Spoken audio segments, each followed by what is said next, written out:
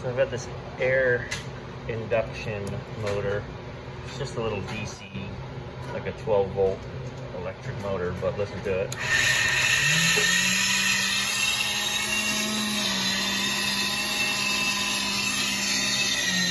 Sounds terrible.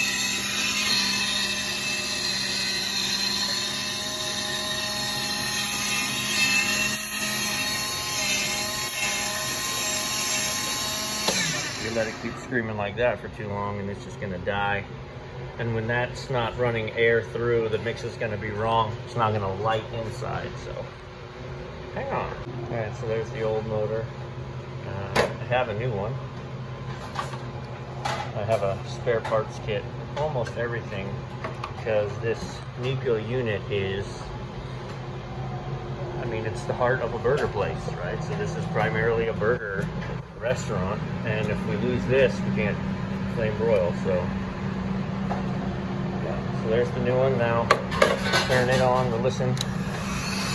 Hey. And the sound of the air you hear is actually disappearing out of the pipe. The motor itself is quiet.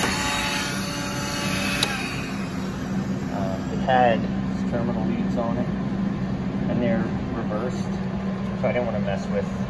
Uh, so I cut the motor back and then left leads in place and I'm just going to use my lever nuts get everything secured We're good to go but look at the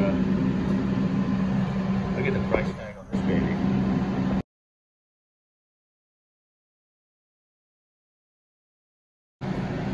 alright so we've got the wires all safe and secure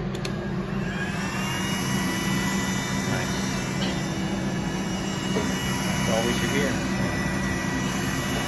good to go.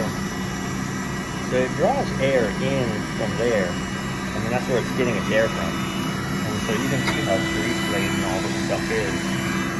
Um, once it just gets enough grease in there, it gums up the motor. Starts to kill it. So. Alright, I'm to put this panel back on and should be good.